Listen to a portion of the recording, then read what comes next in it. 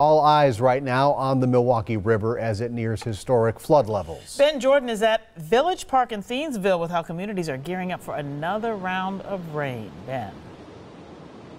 Stephen Carroll, this roaring dam behind me and the park right next to us have been a spectacle throughout the day as this area has turned into an absolute swampland. However, residents must feel some relief knowing the latest National Weather Service prediction shows it isn't supposed to get too much worse. Unmanned boats, that's right, two of them, drifting down the Milwaukee River in Thiensville is just the beginning of the headaches caused by anticipated record flooding.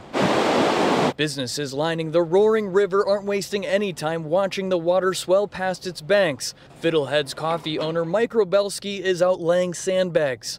We'll essentially try to make a little moat around the, uh, the cafe here. About five miles north in Cedarburg, caution tape surrounds Cedar Creek at this park as this current continues to gain strength and speed. It's usually a lot calmer than this, um, so something that we're not really used to here.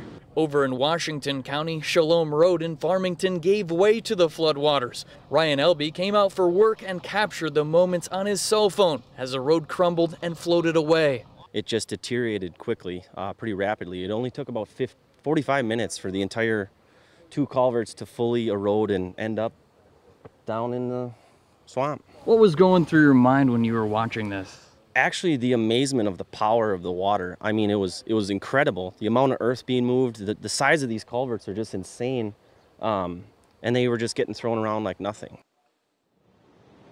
We've been on quite a trek uh, through Ozaukee County and Washington County, monitoring flood levels. And quite honestly, we couldn't find too many homeowners who were putting sandbags up to protect them from flooding, hoping they'll make it through without.